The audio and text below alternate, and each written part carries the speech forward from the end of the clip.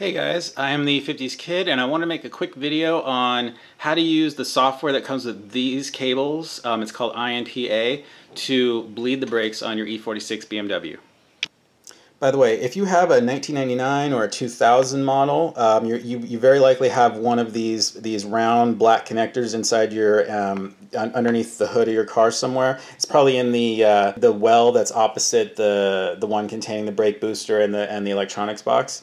So uh, if you see this, uh, if you see something in your engine bay that this kind of thing would plug into, you need one of these adapters in order to use one of these cables on your car. If you look on eBay when you buy this cable, you'll see packages where it, um, this adapter actually comes with it. So just uh, just be aware of that and, and get that if you need to.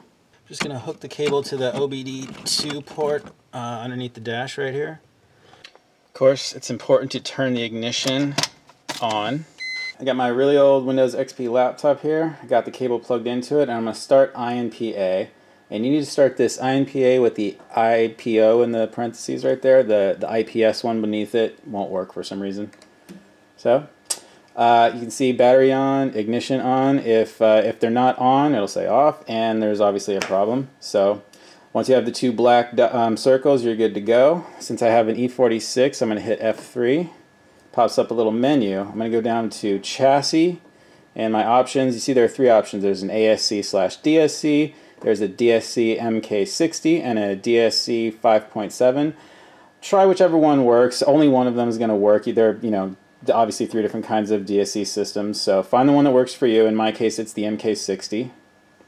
Got a little menu here. And I'm going to hit F6 for activate. Now I got another menu and I've got E46, ASC, DSC, rework, bleeding, brake caliper, front left slash front right, or uh, I'm sorry, front left slash right left, rear left, front left, rear left, and the next one down says uh, front right and rear right. And then I've got like a mini ASC, DSC, same options, front left, rear right, blah, blah, blah, and then a mini ABS.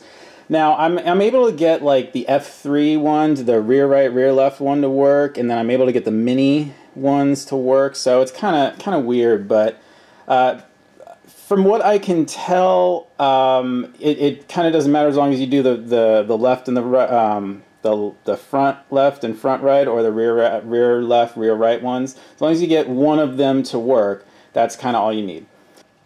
So here's what it sounds like uh, if you activate one of these options. You're going to hear the pump, and then you're going to hear the valve open and close several times.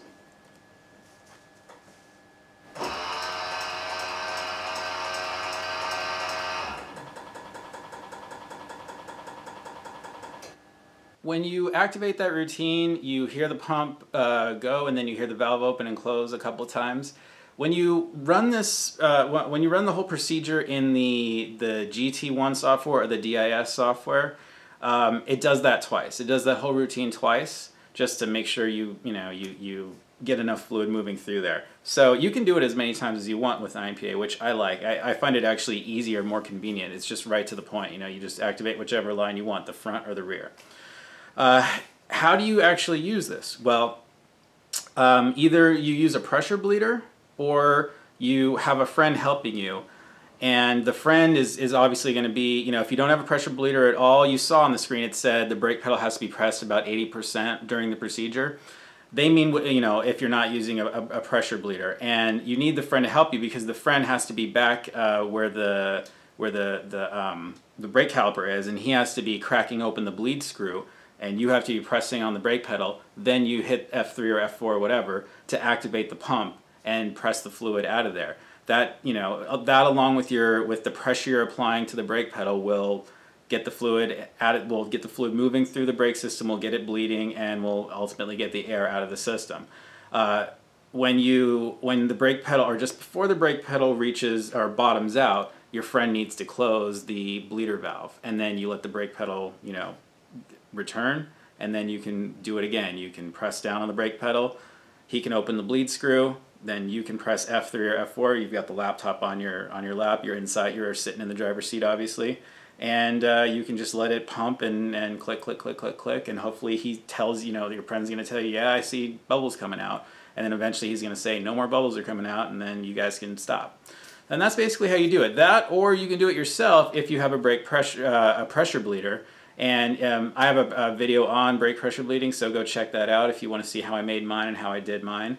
Um, in that particular case, you know, what I do is I just kind of have like a longer USB cable, and I've got the I've got the cable sticking out of the driver's window, the driver window. I've got the the window down, obviously, and I just kind of have the, the laptop near me. I'm in the back there, and I just crack the bleed screw. I've got the I've got the pressure already applied. So that's you know having a pressure bleeder is like having someone with their foot on the brake pedal the whole time. And the nice thing about that is that you know some master cylinders can actually get old as they can wear. It is a piston with a rubber seal around it, and normally when you're pressing on the brake, you know that piston and that rubber seal they only move in a very small. Uh, uh, distance. So if you're pressing the brake pedal all the way to the floor, when the bleed screw is open, you're actually pressing that, that master cylinder all the way in and, and the, the, uh, the seal is actually traveling to part of the cylinder that it's never traveled to before.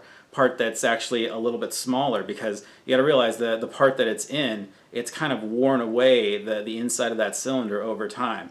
So that's become bigger over time, right? And, and, if you press it into the smaller part of the cylinder, like the, the way the cylinder was when it was brand new, it's going to compress the seal. And then when you when you actually draw it back to the beginning, the seal is going to be a little more compressed, and it's it's back into this the area where there you know is kind of a little bit worn away.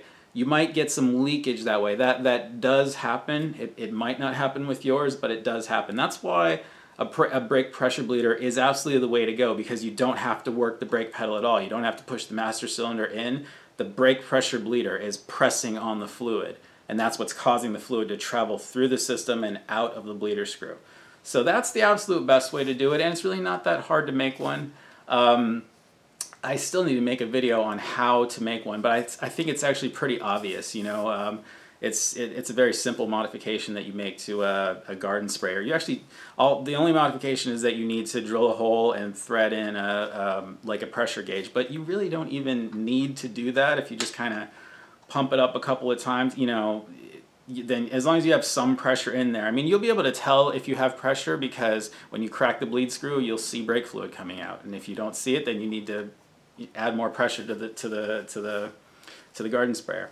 But anyway, check out that video. I'll put a link in the description on this one. But uh, I hope you've seen how uh, basically you can use the INPA software to activate the bleed procedure and bleed your brakes if you have happened to run your master cylinder dry by mistake. Anyway, thanks for watching.